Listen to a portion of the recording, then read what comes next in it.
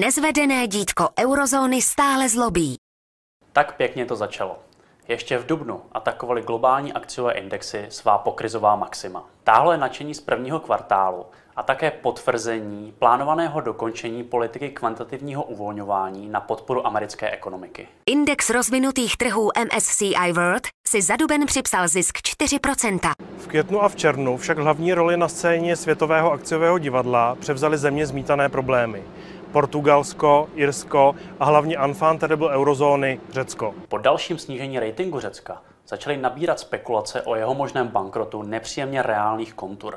Kolem řeckého defaultu nenápadně nenašlapují už ani evropští ministři financí a bez obalu přiznávají, že rok starý záchranný plán a celých 110 miliard eur pro Řecko selhali. Zatímco Evropa vymýšlela další způsoby či odálení bankrotu Řecka, tamní vláda se pod tlakem demonstrací chvěla v základech. V polovině června ještě přežila hlasování o nedůvěře, ale zlomové datum mělo teprve přijít. 28. června se v parlamentu začaly projednávat další úsporná opatření, proti kterým odbory vyhlásily další generální stávku. Právě schválením těchto nových finančních škrtů podmiňují zástupci Evropské měnové unie pokračování finanční pomoci, bez které by Řecku v polovině července hrozil bankrot. Vývoj v České republice tradičně kopíroval dění na globálním trhu.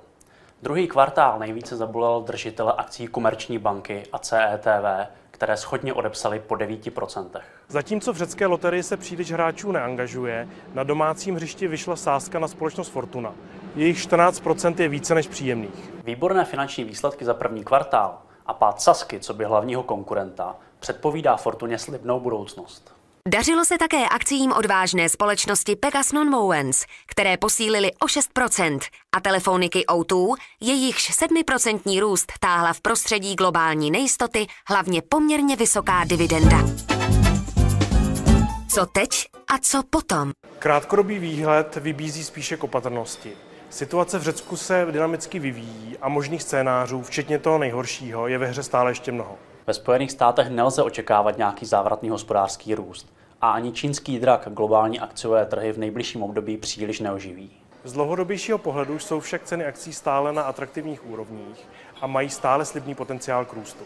Navíc měnová politika by měla zůstat dle prohlášení centrálních bankéřů i nadále relativně uvolněná, což je pro akciové trhy určitě dobrá zpráva. Od stavu rozvinutých ekonomik se bude odvíjet i vývoj ve střední Evropě.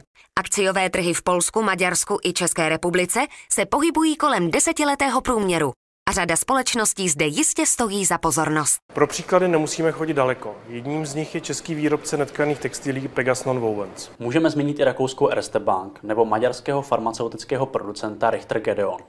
Dále jsou to také polské společnosti, jako například IT firma Aseco Poland, televizní společnost Cifrový Polsat nebo telekomunikační společnost TPSA. Zajímavý prostor vidíme i ve slovinské farmaceutické firmě Krka nebo rumunském restitučním fondu.